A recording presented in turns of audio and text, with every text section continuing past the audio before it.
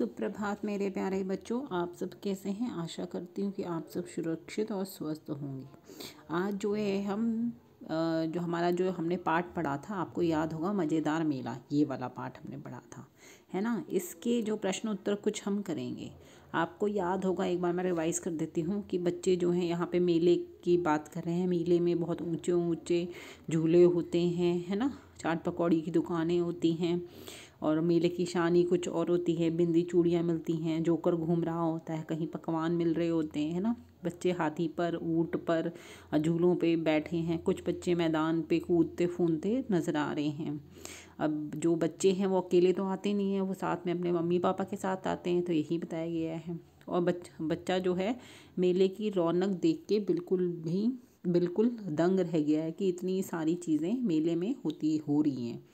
तो बच्चा बहुत इन्जॉय कर रहा था, ठीक है? तो थोड़ा सा रिवीजन हो गया है। अब हम देखते हैं, बच्चे ने मेले में क्या क्या देखा? अब आपने देखा होगा कि बच्चे ने क्या क्या देखा था? चाट पकौड़ी की दुकानें देखी थी, है ना? बिंदी चूड़ी की दुकानें, कुछ खिलौने की दुकानें, जोकर घूम रहा था, उसने ये सारी चीज़ें देखी थी। क्या आप कभी मेले गए हैं? अगर हाँ तो उसके बारे में बताएँ। अगर आप मेले गए हैं तो आपने मेले में क्या क्या देखा होगा? यही सब चीज़ें देखी होगी। जैसे हमारे यहाँ भी द्वारका में दिवाली मेला लगता है तो आप वहाँ जाके इंजॉय करते होंगे, देखते होंगे, है ना? तो वैसे ही अगला अब हम देखते हैं, नीचे दिए गए प्रश्नों के उत्तर लिखिए। मेले में कौन कौन सी दुकानें हैं? अब यहाँ पे पूछा गया है कि मेले में कौन कौन सी दुकानें हैं। मेले में चाट पकौड़ी, बिंदी चूड़ी, खिलौनों की दुकानें हैं, ठीक है? तो ये सारी दुकानें होती हैं। बच्चे किस पर बैठ कर घूम रहे हैं? बच्चे हाथी पे बैठे थे, ऊँट पे बैठे थे, झूलों पर बैठे थे और बैठ कर घूम रहे थे।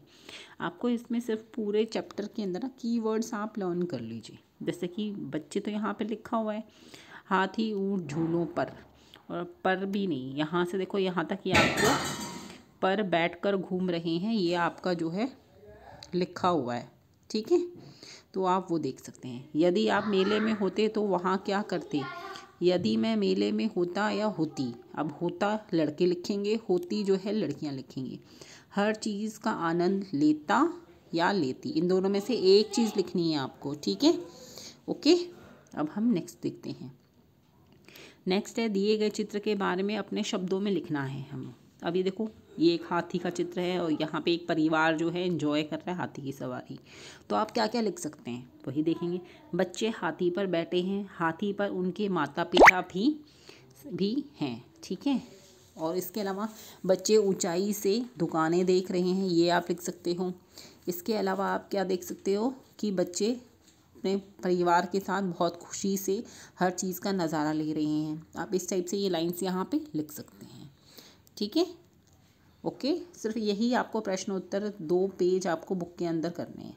ओके आशा करती हूँ कि आपको ये चीज़ समझ में आई होगी. ध्यान रखिए, सुरक्षित रहिए, स्वस्थ रहिए. Bye bye